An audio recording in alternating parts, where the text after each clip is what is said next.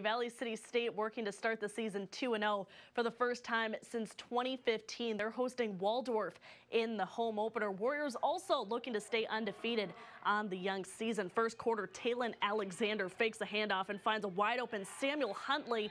7-0 Waldorf. Second quarter now, Vikings trail by a touchdown. Jalen Pfeiffer finds Joran Hamry, who hangs on for the score. It's tied at 10 at the break. Vikes driving to start the third quarter and Pfeiffer's second touchdown of the game ends up being the eventual game winner. He rolls right and hits Cade Combs in the corner.